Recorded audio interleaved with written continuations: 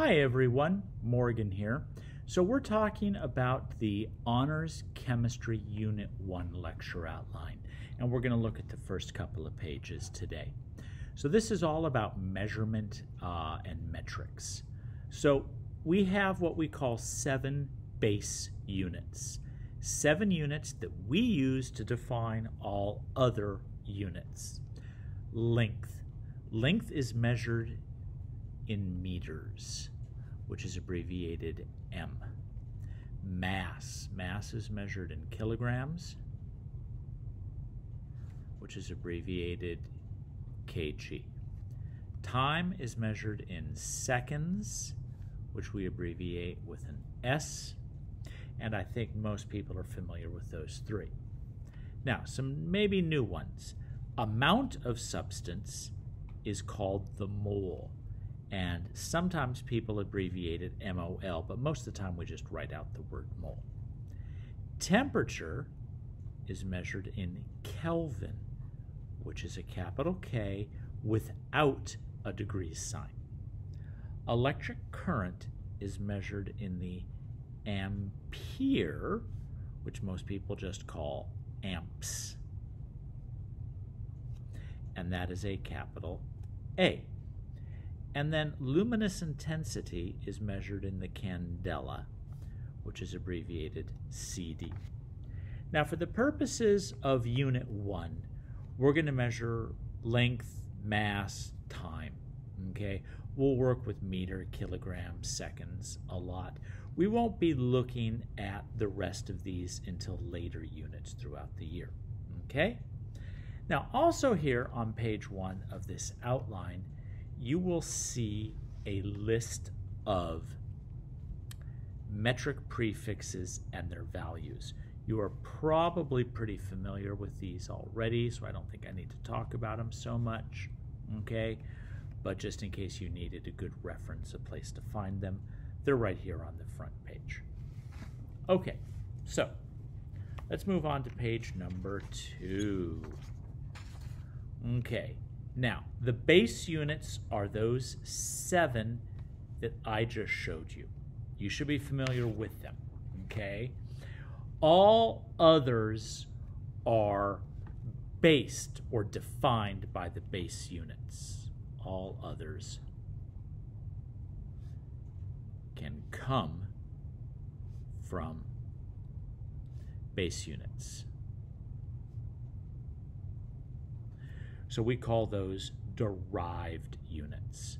So as an example, we have in a car something like meters per second, where we take meters traveled divided by the number of seconds it takes, or grams per milliliter, okay?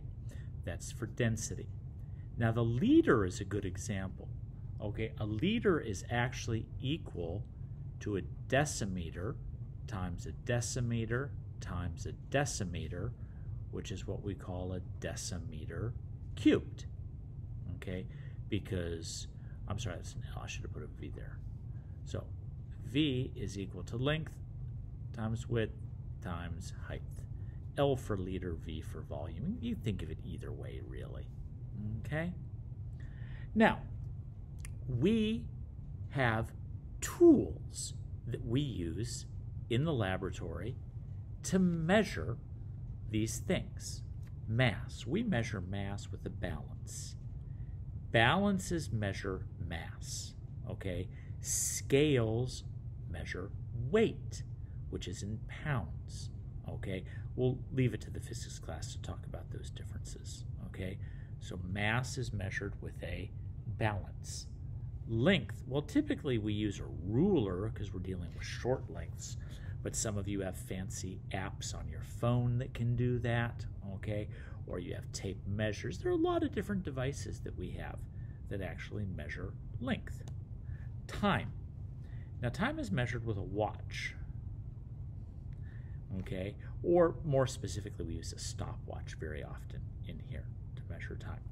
Volume, we have a lot of options. Most of the time, we use the graduated cylinder. We do not use beakers to measure volume, okay? Those Beakers are good for holding liquid. They're not terribly good for much else. Okay? Now, all of these tools that we're talking about will have limits as to how much precision their answers can really have in them. Okay? So we're going to have something called a sig fig, a significant figure. Significant figure. They will pop up in the next couple of lectures to talk about how you can't take a ruler, just like the typical ruler you might carry around in your backpack or your notebook, and measure nanometers with it. That device is not any good for that. Also, that you know typical ruler that's one foot long that you carry around is not very good for measuring the length of the you know the United States.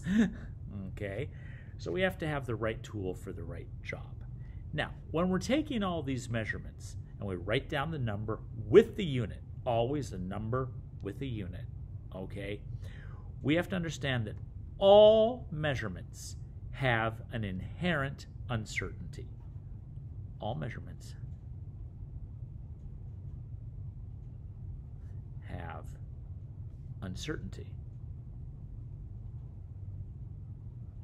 And what this means for us is that typically if I write down 10.00 grams, I know the 10 is correct, I know the point O is correct, but that second zero, it has some uncertainty in it. It might be, you know, 10.01 or maybe 9.99, so, you know, there's some in uncertainty in there.